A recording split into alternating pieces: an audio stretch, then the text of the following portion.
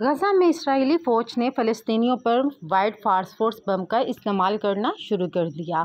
हमलों में शहीद फ़लस्तीनियों की तादाद 1100 से तजावज़ कर गई, जिनमें 145 बच्चे और 105 खवातीन भी शामिल हैं, जबकि 5000 से शायद फ़लस्तीनी ज़ख्मी हो गए हैं।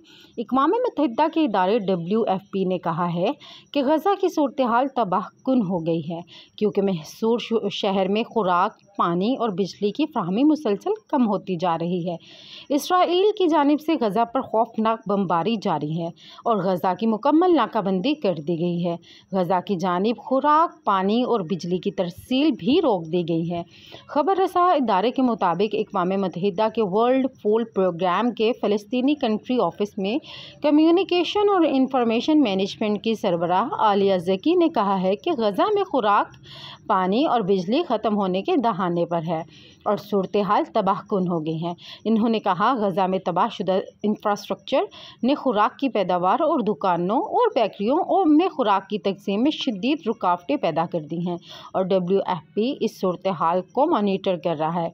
डब्ल्यू एफ़ पी के जेरी निगरानी निस दुकानों और बेकरियों में एक हफ़्ते के अंदर खाना ख़त्म हो जाएगा। वो अफराद जो अब भी काम कर रहे हैं, वो इनको भी बिजली की बार बार बंदिश से खुराक की ख़राब हो जाने की सूरत हाल का सामना है। इकवा मतहदा के अंदाजे के मुताबिक गज़ा में अस्सी फ़ीसद से ज़्यादा आबादी पहले ही गुरबत गुजार रही है।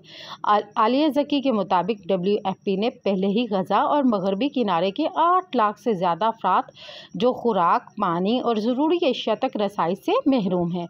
इनको खुराक की एक अहम लाइफलाइन फ्राहम करने के लिए एक हंगामी ऑपरेशन शुरू कर दिया है, जिसमें खाने के लिए तैयार ताज़ा रोटी और डब्बाबंद खाना एक लाख सैंतीस हज़ार बेघर गज़ा के बाशिंदों को पहुँचा दिया गया है। ये अफराद U N R W A की पनागाहों में पनाह की तलाश में हैं। डब्ल्यू एफ़ पी ने एक लाख चौंसठ हज़ार अफराद को अपने इलेक्ट्रॉनिक वॉचर्स में हंगामी कैश टॉप भी फ्राहम किया है जिसे वो मुकामी दुकानों से खाना ख़रीदने के लिए इस्तेमाल कर सकते हैं। इन्होंने कहा है कि डब्ल्यू एफ़ पी गज़ा में इमदादी पहुँचाने के लिए इंसानी हमदर्दी की बुनियाद पर राहदारियों को खोलने का मुतालबा करता है। सरहदों को खुला रखा जाए और गोलाबारी से महफूज रखना भी ज़रूरी है।